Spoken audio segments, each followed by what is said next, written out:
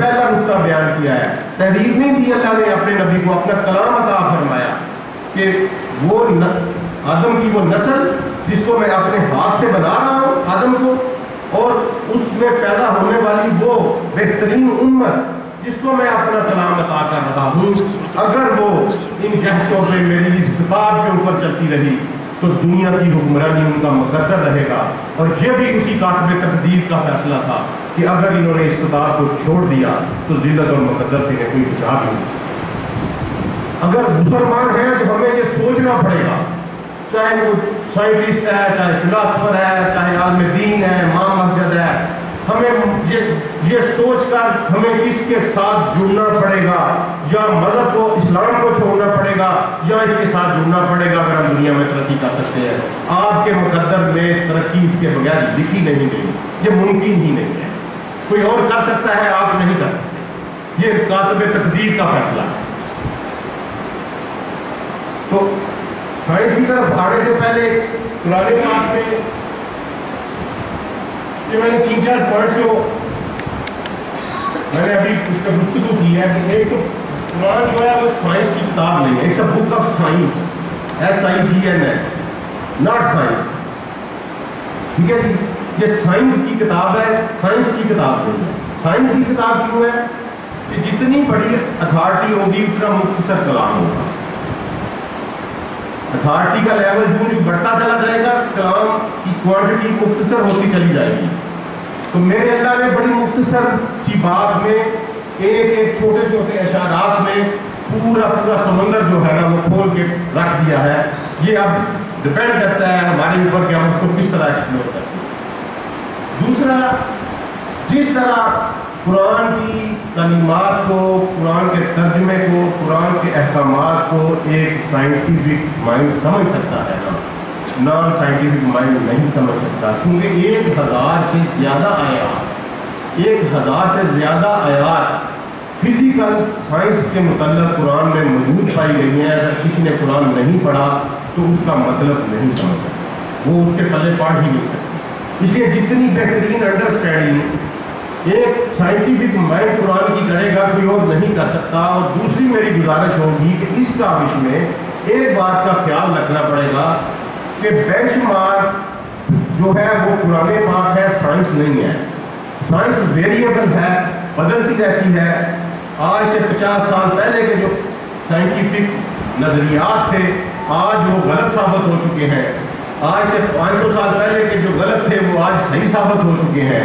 ये Quran non variable है, ये स्टैटिक है, ये ये खाले के कायनात का है, वो हकीकत को जानता है। अगर कहीं अगर कहीं कंट्राडिक्शन पाई जाए, कोई ऐसी बात आपके आपके जहन में आए तो आप ये तस्वर करें कि साइंस अभी तक वहाँ तक नहीं पहुँची। किसी वक्त में आएगा।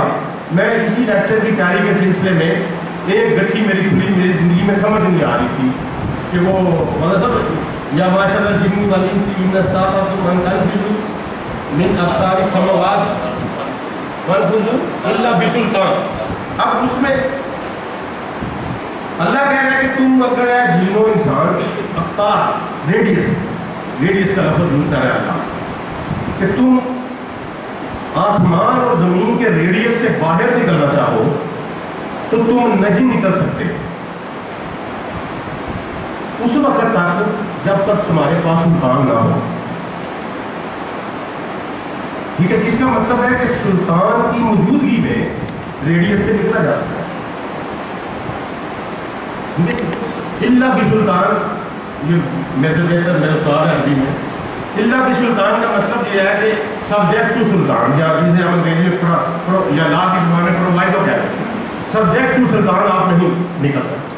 अगर सुल्तान मौजूद हो तो आप इन खलाओं से बाहर जा सकते हैं।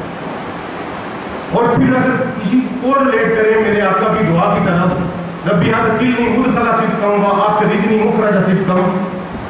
वजल्ली मिल्ला बुन का सुल्तान नसीरा, कि यहाँ अल्लाह मेरे महबूब को कह रहा है कि आप मुझसे सुल्तान मांगे। इसका मतलब है कि सुल्तान कोई एक ऐसी कुवत है आज तक एक्सप्लोर नहीं हुई। क्यों? साइंस ये कहती है कि आप इस रेडियस से बाहर नहीं निकल सकते। ज़मीन व आसमान के रेडियस से बाहर नहीं निकल सकते आप। क्योंकि अगर आप स्पीड ऑफ़ लाइट से ट्रेवल करेंगे तो मैटर एनर्जी में कन्वर्ट हो जाएगा। ठीक है जी? और वो ख़त्म हो जाएगा। तो स्पीड ऑफ़ लाइट के, के साथ ट्रैवल करना ज़रूरी है ग्रेविटी को ओवरकम करने के लिए। लेकिन अल्लाह कह रहा है कि सुल्तान के साथ तुम निकल सकते हो। इसका मतलब है, it's a big deal for Muslim कि आप कोई मुसलमान साइंसदान इस पर वर्क करें और पूरी दुनिया में इनकलाब आ जाएगा, क्योंकि इसको आप स्पेस टेक्नोलॉजी कह लें इसको आप रॉकेट साइंसिस कह लें लेकिन ये कुरान में एक वाद इशारा दे दिया गया है कि ज़मीन और आसमान के रेडियस को सुल्तान की कुत से तोड़ा जा सकता है। और वो ही सुल्तान जो मेरे, अल्लाह मेरे अपने महबूब को कह रहा है कि मुझसे वो कुत मांगो। ठीक है इसका मतलब है मेरे आका ने वो दुआ की उनको वो कुत अदा की गई। मेरे आका की इस्तात इतनी थी कि वो रेडियस से बाहर जा सकते ठीक है जी? मेरा शरीफ सर ये ये साइंटिफिकली बात साबित हो रही है कि मेरे आका की दुआ रद्द नहीं हो सकती पर्टिकुलरली वो दुआ जो अल्लाह खुद कहे कि ये मुझसे मांगे। और जब उन्होंने सुल्तान मांग लिया तो अल्लाह कह रहा है कि सुल्तान की कुत से तुम इससे बाहर निकल सकते हो। तो आकाम को अल्लाह ने वो कुत अदा की हुई थी कि वो ज़मीन व आसमान के रेडियस से बाहर निकल सकते जी नेक्स्ट की तरफ़ उसके बाद कुरान ने एक अजीब गरीब किस्म का चैलेंज दो चैलेंजेस कुरान में, मैंने एक का इधर ज़िक्र किया है। और ये बड़ा अजीब चैलेंज है। सूर्य बकरा आयत नंबर तेईस और चौबीस and if you are in doubt as to what we have reveal from time to time to our servant सल्लल्लाहु अलैहि वसल्लम देन प्रोड्यूस अ सूरा like there into and call your weaknesses or helpers beside Allah if you are true but if you can't and are sure to you can't then fear the fire अब इसमें अल्लाह ने challenge कर दिया कि इस तरह की कोई एक सूरत बना के ले आओ। ये क्यामत तक के लिए चैलेंज है। उस वक्त तक के लिए जब तक ज़मीन के ऊपर ज़िंदगी की अलामत है, ये हमारे मुखालफी को एक खुला चैलेंज है आज भी कि इस तरह की कोई एक सूरत बना के ले आओ। चौदह सौ सैंतीस साल गुजर गए, कोई इस चैलेंज को मीट नहीं कर सकता। दुनिया में कितने मुफक्र पैदा हुए कितने साइंटिस्ट कितने हमारी मुखालफी हमारे ऊपर बजट लगाया जा रहा है इसको गलत साबित करने के लिए इतनी लेकिन कोई चैलेंज को आज तक मीट नहीं कर सकता कोई इस चैलेंज को आज तक मीट नहीं कर सकता तो ये एक ऐसा चैलेंज है जिस जो मैंने आपको पहले बयान किया है कि साइंस कुरान की जाहत को नहीं पहुँच सकती। बिल्कुल एक, छोटी सी जरे से भी कम की हैसियत है इसकी साइंस की कुरान के इलम के सामने। अब इंसान शुरू से एक इसकी जबिलत में है कि कैसे इब्तदा कैसे हुई कायनात की। तो इस पर साइंटिस्ट ने बड़ा काम किया और आज तमाम दुनिया के तमाम साइंटिस्ट मुतफिक हैं कि ये बिग बैंग बिग बैंग एक थेरी है कि उसके मुताबिक साइंस की इब्तदा हुई। बिग बैंग क्या था? एक कहते हैं कि बहुत ज़ोरदार ताकतवर किस्म का धमाका हुआ कायनात में और कायनात टुकड़े टुकड़ों में तकसीम होकर हर टुकड़ा अपने अपनी जगह पर चला गया और उसने अपने अपने मदार में गर्दश शुरू कर दी। फिर वहाँ से ज़िंदगी का आगाज़ हुआ। तो ये जितने भी ये galaxy star planet sun moon ये बेसिकली वो साइंटिस्ट कहते हैं कि प्राइमरी नेबुला था, जिसको उन्होंने नाम दिया है। कोई मास था, जिसको उन्होंने प्राइमरी नेबुला का नाम दिया है।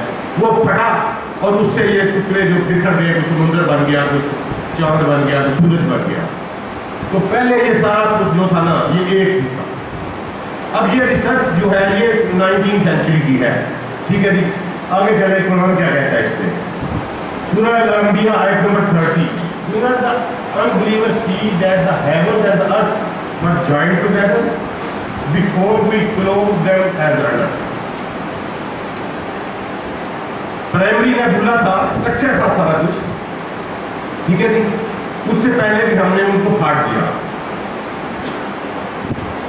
अल्लाह कह रहा है सूरह मरियम अब अब अगर ये नाइनटीन सेंचुरी में दरियाफ्त होने वाली बात चौदह सौ साल पहले मोहम्मद की ज़ुबान से कलवाई जा रही है तो इसका मतलब है कि वो वही बनाने वाला है।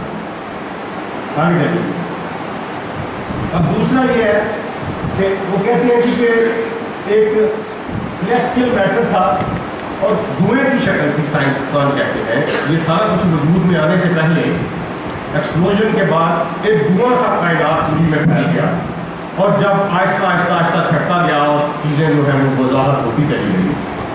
तो कुरान इसके ऊपर बड़ा खूबसूरत वर्ड यूज़ करता है कि चलिए प्लीज़ दुखान। दुकान का मतलब दुआई है एग्जैक्ट वर्ड कुरान यूज़ करता है। Moreover he comprehended his design, the sky and it had been as smoke सूरत हामीन का सजदा आयत नंबर ग्यारह एग्जैक्ट स्मोक का लफ्ज दुखान दुखान का लफ्ज यूज़ करता है कुरान और एग्जैक्ट बता रहा है कि he comprehended his design the sky and it has been a smoke he said it at the earth come get gather willingly or unwillingly they said we do come in willing obedience अब वो जो celestial matter और smoke वाला concept था जिस पे Einstein ने बहुत ज़्यादा काम किया हुआ है, वो भी पहले से कुरान में मौजूद है। आगे जाए अब ये बड़ा खूबसूरत है दी शेप ऑफ़ अर्थ के ऊपर। बहुत सालों तक, सदियों तक दुनिया समझती रही कि shape of earth is flat और बहुत सारे लोग दूर के सफ़र से डरते थे कि कहीं जहाँ ज़मीन खत्म हो, नीचे ना गिर जाए।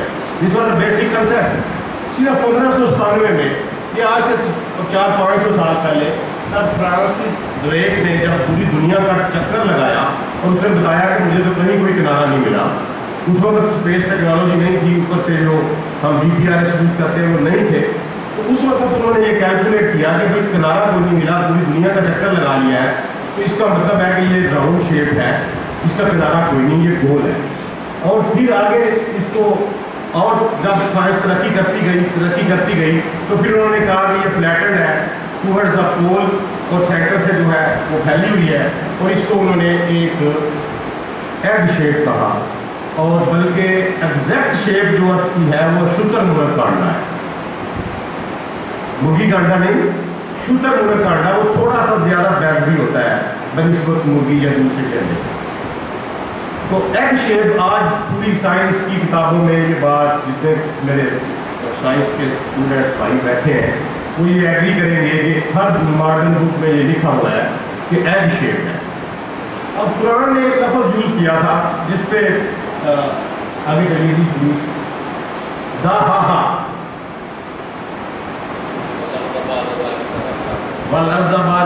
दा हा हा।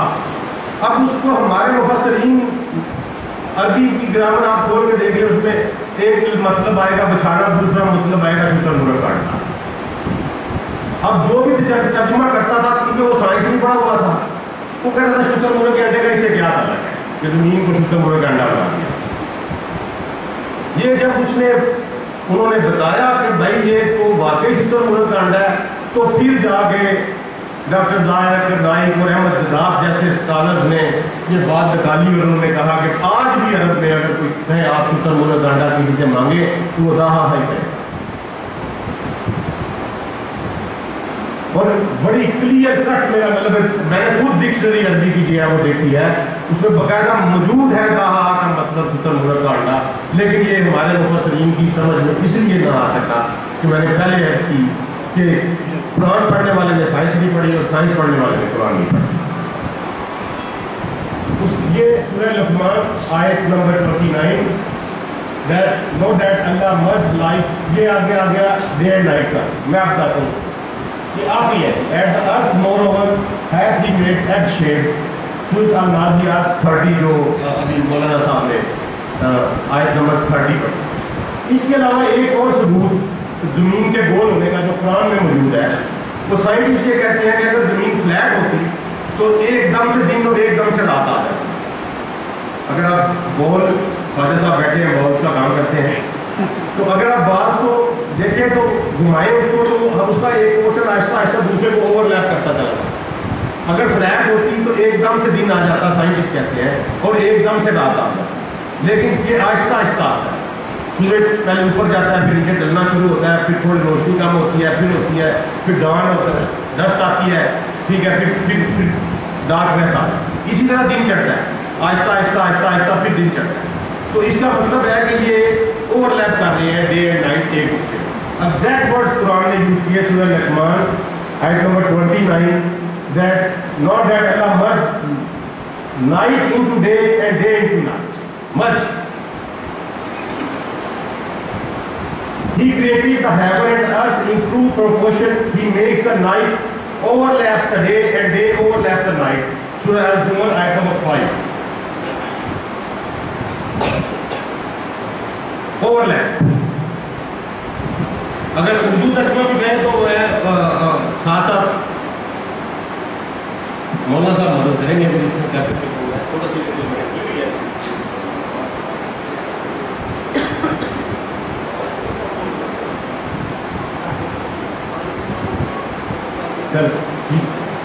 नेक्स्ट अच्छा उसके बाद हम स्कूल में, मैंने नाइन्टीज़ में एफएससी की अर्ली नाइन्टीज़ में। तो उस वक्त यूनिवर्सल ट्रूथ यूनिवर्सल ट्रूथ का एक चैप्टर होता था, जिसमें ये लिखा हुआ था कि sun is stationary sun is stationary और इसमें बड़ी लिहाजा हुई दो तीन मुकाले मैंने भी सुने हैं एटीज़ के, जिसमें इनको लताड़ा गया काफ़ी। जो हमारे मुस्लिम साइंटिस्ट स्कॉलर थे, कि जी, आप कहते हैं जी कि कुरान कहता है कि सन मूविंग और पूरी साइंस कहती है कि सन स्टेशन। लेटेस्ट डेवलपमेंट बड़ी लेटेस्ट है मेरी मेरी अपनी ज़िंदगी में हुई है। मैंने खुद पढ़ा हुआ है, आज भी कोई अगर उन्नीस सौ नब्बे, इक्यानवे का वो जो टेस्ट पेपर होते थे, वो उठा के देख ले तो उसमें यूनिवर्सल ट्रूथ के नाम से एक चैप्टर था, और उसमें यूनिवर्सल ट्रूथ में लिखा हुआ था द सन इज़ स्टेशनरी सूरज मूव नहीं करता। लेकिन कुरान में बहुत जगहों पर कहा गया कि सूरज मूव करता है। और ये कब हुआ? ये बड़ी रिसेंट जब उन्होंने किया इसका, वो बीन पहली निकाली फिर उसको रोटेशन पे लेके आए। फिर आहिस्ता आहिस्ता आहिस्ता आहिस्ता, ये 1989 में कंफर्म हुआ।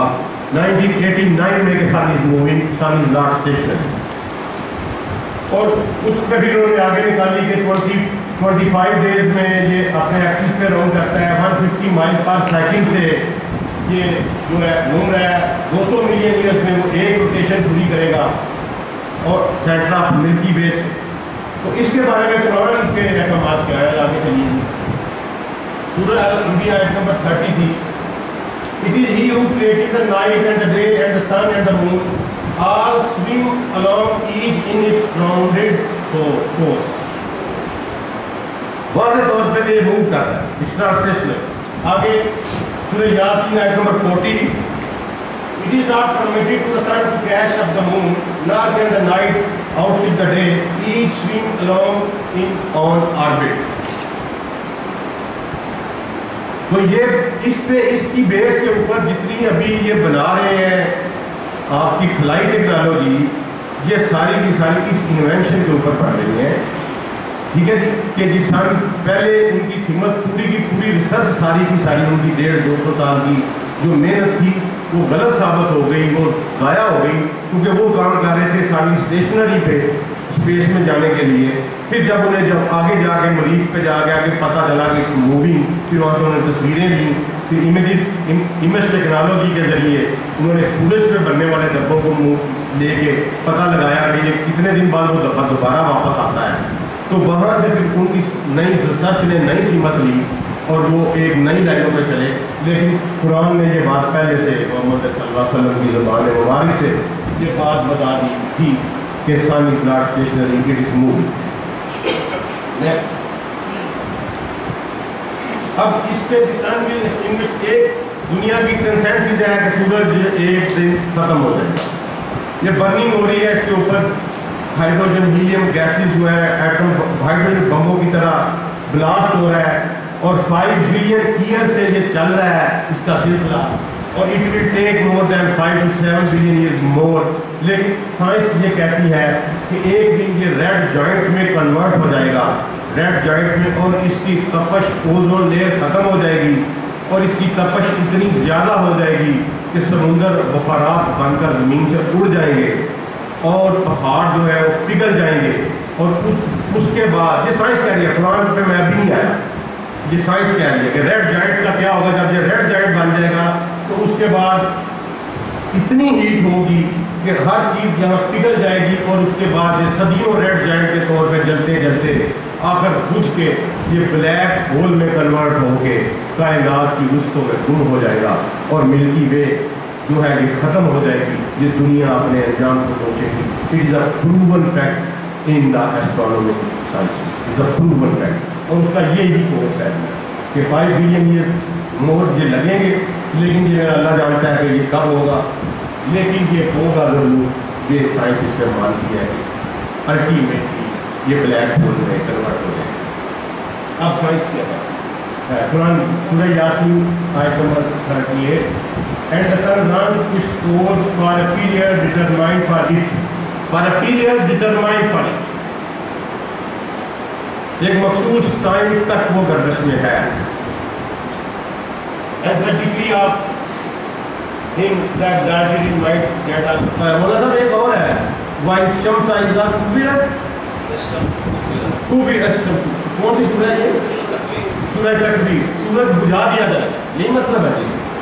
तो मैं इधर नहीं लिख सका तो वो वो ये है कि छोटी सी आयत है सूर्य तकबीर की। और मैंने इनको इसीलिए दावा दी थी, ये मेरी, मैंने, मैं आपसे पुरान नहीं तो ये मेरी रानमाई फरमाई। थी सूर्य तकबीर की पहली आयत है कि सूरज बुझा दिया जाए। तो साइंस लेटेस्ट डेवलपमेंट में नाइन्टीज में इस बात को तस्लीम कर रही है। पहले तो वो कहते थे कि ये खुद ही सिस्टम बन गया और खुद ही चलता रहेगा केमिकल चेंज है। अब ये कह रहे हैं कि ये सूरज बुझा दिया। नेक्स्ट अभी ये मैंने मोबाइल वाली बात की सदियों तक साइंसदान ये समझते रहे कि ज़मीन और आसमान के दरमियान वैक्यूम है। नथिंग इज़ देयर लेकिन आज ये सारी चीज़ें जो हम यूज़ कर रहे हैं, ये उस देश पे है कि ज़मीन और आसमान के दरमियान कुछ है, जिसको उन्होंने प्लाज्मा का नाम दिया है which is the fourth state of matter पहले मैटर की टीम हुई थी जिसको हम कहते हैं लैंग्वेज में। अब चौथी उन्होंने लेटेस्ट फिजिक्स में चौथी जो शेप ऑफ़ मैटर जो है वो शामिल किया है, और इसको प्लाज्मा का नाम दिया है। और उन्होंने कहा कि plasma is in between sky and earth ज़मीन व आसमान के दरमियान में प्लाज्मा है, जिसमें से ये सारी की सारी वेव्स ट्रैवल होती हैं। ये स्काई पे चला गया, वो फ़िलहाल पे चला गया। ये उस प्लाज्मा से मदद ले रहे हैं। अगर वैक्यूम होता तो कुछ भी ट्रैवल नहीं कर सकता था तो अल Furqan 59 He who created the heaven and the earth and all that is between. माँ भाई, ऐसी है सर? कि उसने ज़मीन भी बनाई, आसमान भी बनाया और वो सब कुछ जो उसके दरमियान भी है। तो प्लाज्मा की इन्वेंशन अगर हम स्टेट पास में चलते रहते तो हमारे नाम पे होती। अगर हम इसको पढ़ते रहते। नेक्स्ट एक्सपेंडिंग यूनिवर्स 1925 में एडवन हबल ने जब ताकतवर तरीन दूरबीन एक आज़ाद की तो वो पागल हो गया ये देख के कि ये जो यूनिवर्स है, ये moving all the things are moving apart like a balloon जिस तरह बैलून में हवा बढ़ते चलते जाते हैं, बढ़ता चला जाता है ना तो ये उन्नीस सौ पच्चीस में उसने कहा, और उसके बाद फिर बड़ी रिसर्च हुई और सर जेम्स जेम्स बहुत बड़े जोग्राफर हुए हैं इसमें। यही 1930-35 में लामा मशर भी लिखते हैं कि जेम्स जेम्स, मैं जा रहा था यूके में तो वो बारिश हो रही थी तो उन्होंने छतरी बगल में दबाई हुई थी। तो मैं उनको पहचानता था, मैंने रोका, अपनी बुक में लिखते नेशनल भाषा तो मैंने उनको रोका तो मैंने कहा, सर, आप ये अपनी छतरी खोल लें बारिश हो रही है। तो मुझे एहसास हुआ कि मैं बिल्कुल हवास हो चुका है ये। तो मैंने उनसे कहा कि क्या हुआ है? उसने कहा, मैं चर्च जा रहा हूँ। कहा तुम तो दैरियत नज़रियात के मालिक हो और तुम चर्च का लेने जा रहे हो उसने कहा कि कल लम्हा साहब लिखते दिया कि उन्होंने कहा उन्होंने मुझे कहा कि कल मेरे पास आना चाहिए वैसे मुझे मैं पे पहुँच गया। लान में उन्होंने चाय सजाई हुई थी। तो मुझे देख के उन्होंने कहा कि तुम नहीं जानते, जब से मैंने कलाओं में देखा है साइंसी आलात से तो मुझे डर लगने लगा है कि अगर इसका कोई बनाने वाला हुआ तो वो कितना बड़ा होगा। ये जेम्स जेम्स जिसको दुनिया मानती है, ये उसके ख्याल अलामा मशर ने किए हैं और उन्होंने कहा कि मेरी दो नशिस्तें उसके साथ हुई और तीसरी पे उसने इस्लाम कबूल कर लेना था ही डाइड बिफोर दैट आगे चलिए की जरा अब ये लफज मुसीबुन सुन अजादियात आयत नंबर 47 सेवन सर, पढ़ दे जरा। हाँ, आयत नंबर सैतालीस अजादियात मुसीबुन with the power and skill did we construct the firmament for it we create the expanding space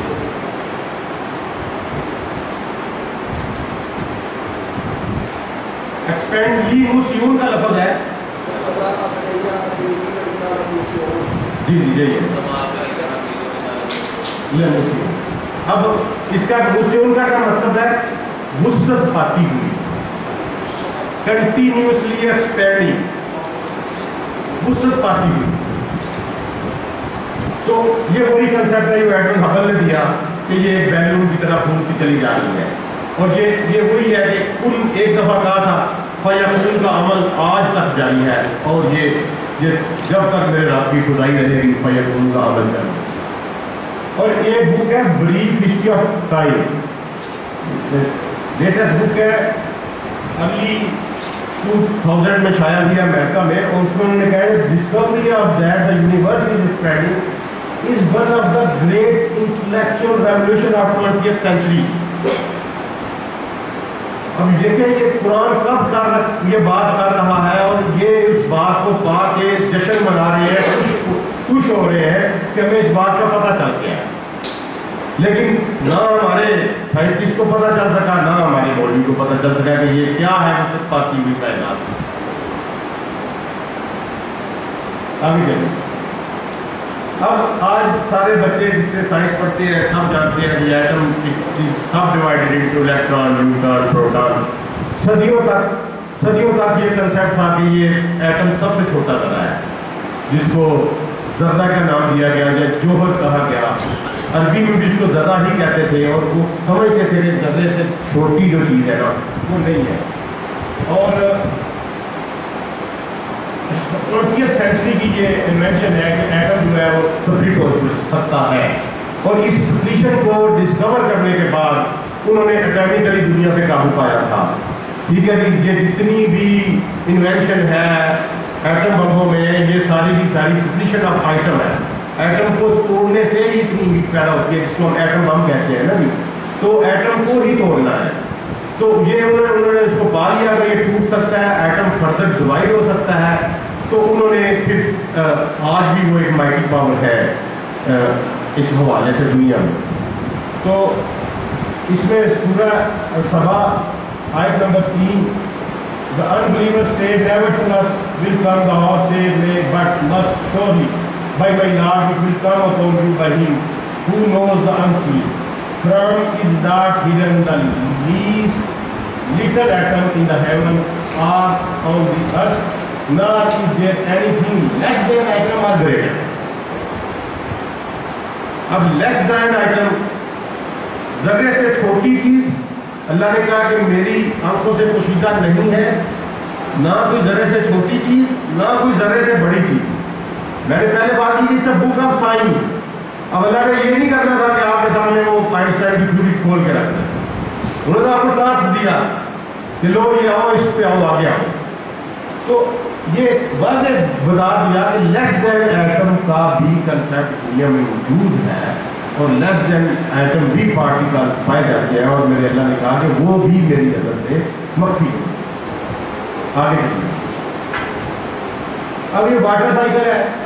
ये भी पंद्रह सौ अस्सी में बर्नर पैलेसी ने इसको इन्वेंट किया और ये सारी मेट्रोलॉजिकल साइंसी जो आज तरक्की करते करते आप मोबाइल खोल कर देख लेते हैं कि आज धूप कितनी लगनी है और उसकी बुनियाद भी ये सारे का सारा वाटर साइकिल था। ठीक है, और पंद्रह सौ अस्सी से पहले दुनिया वाटर साइकिल को जानती ही नहीं थी। उनका कंसेप्ट ही नहीं था कि वाटर सर्कुलेट भी करता है कायनात में। तो लेकिन इसमें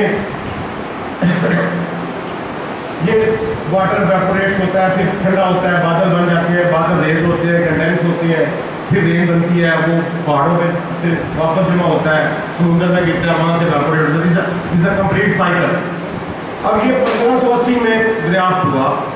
और उसके बाद इन्होंने तरक्की करनी शुरू की और उसके बाद ग्रीनविच के ऊपर इन्होंने पहला मौसमियाती सेंटर बनाया। और आज भी हम वो जो जीएमटी जिसको कहते हैं फ़ायदा साहब जानते होंगे बाहर डिस्कस करते हैं। तो जीएमटी क्या है? जीएमटी वो ग्रीनविच से गुजरने वाली लाइन है। अगर किसी मुसलमान ने किया होता तो मक्का का या मदीना का होता, या इस्लामाबाद का होता, ठीक है? वो चूँकि अंग्रेज़ों ने किया था तो हम उसको ग्रीनविच टाइम ही कहते हैं जीएमटी कहते हैं। ठीक है जी?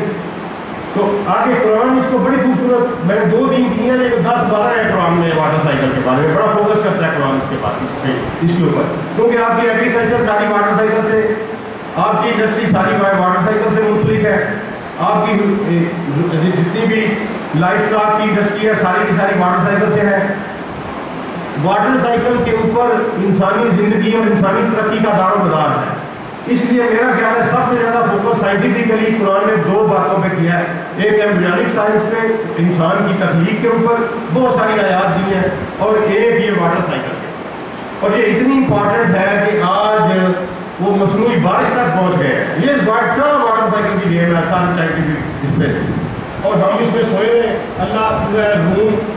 आयत number 48 it is Allah the winds and they raise the clouds and then does he spread them in the sky as he will and break them into fragments until those such raindrop issue from the middle अगली सूरत अल-हिजर आयत number 22 and we sends the fecundating beans हामला इसका उर्दू में तर्जमा होगा मतलब बारह word fully saturated with with evaporation एक वेपोरेशन पे एक पॉइंट ऑफ़ सैचुरेशन आता है वो वो लफ्ज फ्रिकेंडेटिंग एग्जैक्ट वर्ड जो है साइंस में यूज़ हुआ है एग्जैक्ट कुरान में यूज़ हुआ है then cause the rain to descend from the sky. There with providing you with water. यानी बादल जो है वो हवाओं से ट्रैवल होते हैं। हवाएँ हैं जो बादलों को लेकर चलती हैं और वो लो प्रेशर डेवलप होता है। और जहाँ एग्जैक्ट कुरान वो कह रहा है कि फ्रीकन डेटिंग विंड्स को वो जो है, उनसे descend from the sky rain जो है वो निकलती आगे चले इसके बाद सूरह जुमर आयत number 21 and we send down water from sky according to measure and we cause it to soak in the soil and we certainly are able to drain. ये वाटर टेबल के बारे में एग्जैक्ट वाटर टेबल के बारे में है कि soaking हो जाती है, बारिश गिरता है, ज़मीन से नीचे चला जाता है पानी। और अल्लाह कहता है, मैं उसको बाहर निकालता हूँ। तो ये वाटर टेबल के बारे में बता रहा है अल्लाह इसमें। और आगे रात आयत नंबर सत्रह, Allah sends down rain from the sky and leads it through springs in the earth then he causes to grow there will produce a various colour ये वो वो जिसमें वो